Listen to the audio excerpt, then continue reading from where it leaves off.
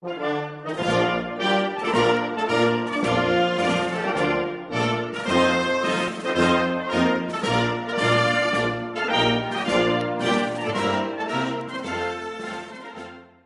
landgenoten, beste vrienden.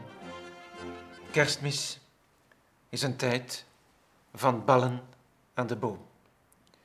Van vredevol bij de pakjes te blijven zitten.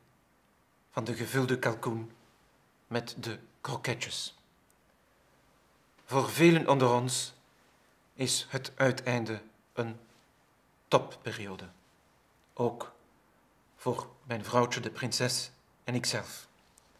Maar aan alles komt een eind. Ook aan het jaar 2009. En in deze tijd gaan mijn allerdiepste gedachten uit naar hen die minder bedeeld zijn. Diegenen die zelfs geen nagel hebben om aan hun aan de onderkant te kunnen krabben. Mensen die lijden aan de bankencrisis of aan de griep uit Mexico. Ik bedoel hier de pechvogels van 2009.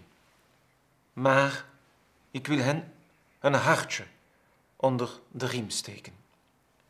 Want misschien ziet u alleen zwarte sneeuw, of stapt u elke ochtend volop met verkeerde benen uit het bed. Er is één ding wat men ons niet kan afnemen.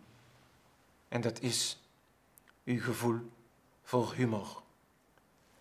Humor is even noodzakelijk in het leven als slapen, eten en, en zoveel meer andere dingen. Humor is gratis. Het is gezond.